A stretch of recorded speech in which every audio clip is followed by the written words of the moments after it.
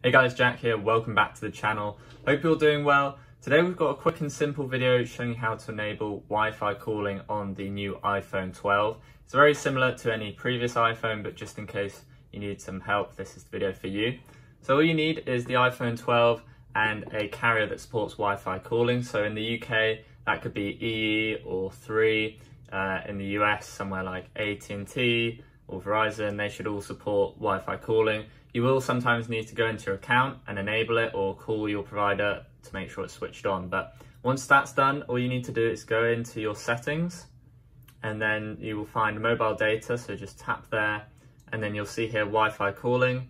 Go ahead and turn that on and then you see it pops up with this option. You hit enable and then it will take a few seconds, so about 30 seconds to activate. So whilst it's just doing that, if you click here about Wi-Fi calling, you can see it gives you some information about how it will use Wi-Fi as opposed to cellular if you don't have good cell coverage. So this can be useful if you're in your office or um, somewhere where you don't get very good service. So very useful to have it and it will mean that you do use up your calls and texts, but it doesn't use up data. So I've had that question before. It just uses your standard calls and texts.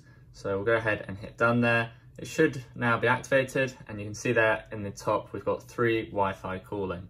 So that's how you activate Wi-Fi calling on the iPhone 12. If you have any questions or problems, do post in the comments down below and I'll get back to you as soon as possible. And if you found this video useful, please hit that like button. It really helps out the video and the channel.